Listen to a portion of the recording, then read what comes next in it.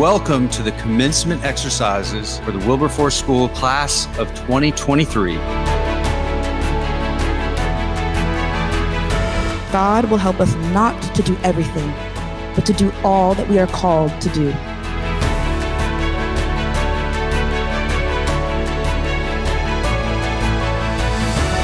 I promise you the adventure I'm holding out to you is greater than you can imagine.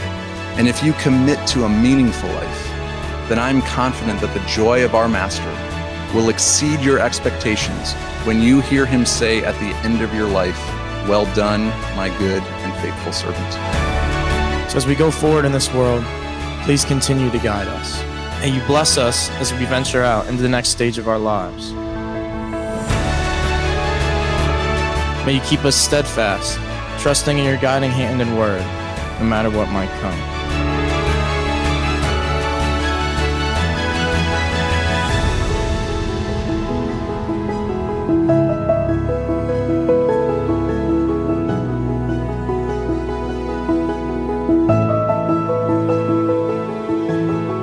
Wilberforce has been an incredible experience. I'm grateful for their hospitality, for their academics, for their spiritual encouragement and leadership. We're so grateful for this day. We're glad we could celebrate with all the graduates. We're so thankful for faculty, administration. We love Wilberforce and we're grateful. Thank you.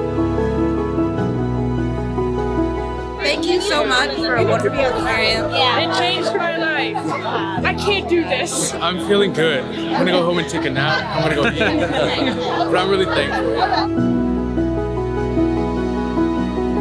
I'm very proud and of course very emotional too to see him reach this milestone, but excited for what's to come. Very grateful for basically my whole life here, 14 years.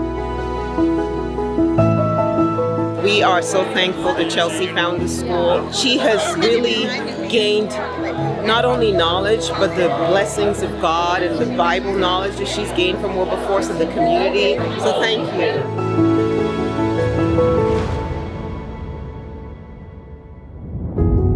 My prayer is that you will be like Daniel on your campuses, that you will not blend in or be assimilated, that you will faithfully gather with other people who are following Christ and will invite your peers to join you.